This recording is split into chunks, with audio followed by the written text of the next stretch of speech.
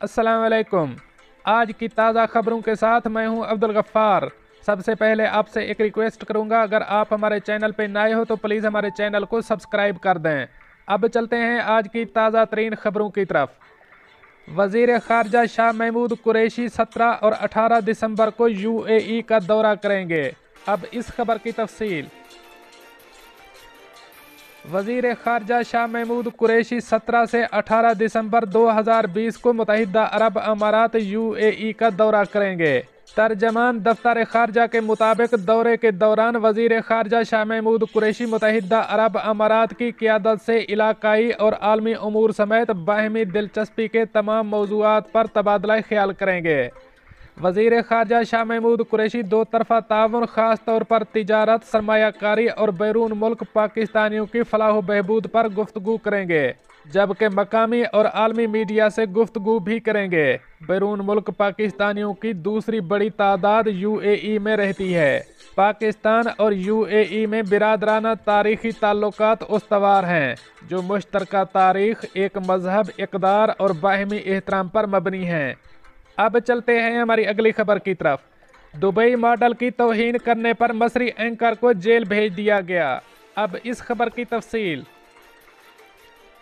मिस्र की एक फौजदारी अदालत ने 11 दिसंबर को टीवी एंकर तैमूर अमीन को हम वतन और दुबई में मुकीम मॉडल मरहम हशाम अब्दुल कादर की तोहन करने के इल्ज़ाम में दो साल कैद और चालीस हज़ार मसरी पाउंड नौ हज़ार तीन सौ सतासी दिरहम की सज़ा सुनाई।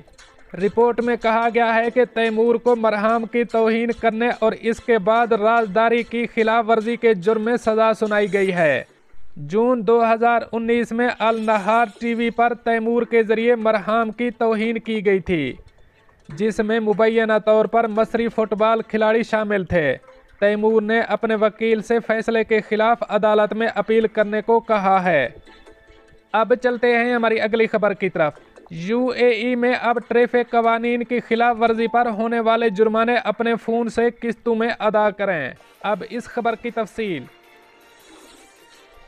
दुबई पुलिस की जानब से शहरियों को सहूलत के लिए एक ऐसा निज़ाम लॉन्च किया गया जिसकी मदद से आप दुबई पुलिस ऐप के ज़रिए अपने मोबाइल फ़ोन से ट्रैफ़िक कवानीन की खिलाफ वर्जी पर होने वाले जुर्मानों की एक साथ में अदायगी कर सकते हैं। दुबई पुलिस में इंतज़ामी अमूर के मुआवन सरबरा मेजर जनरल सईद ने बताया कि ये सिस्टम मुकम्मल तौर पर खुदकार है, जिसमें लोग अपने ट्रैफ़िक जुर्माने एक साथ में अदा करेंगे और ये सर्विस 24 घंटे दस्तियाब होगी। उन्होंने बताया कि इस निज़ाम को लॉन्च करने में यूएई के मरकज़ी बैंक और दुबई इस्लामिक बैंक ने इश्तराक किया है। दुबई में police traffic fines collection section के director captain Hussain Al Abdouli का कहना था कि सारिफ ट्रैफ़िक फाइन्स की अदायगी की सर्विस में लॉग इन करने के बाद जुर्मानों की किस्तों में अदायगी के ऑप्शन का इंतखब कर सकते हैं, जिसके बाद सारिफ को शराय व जवाब को कबूल करना होगा।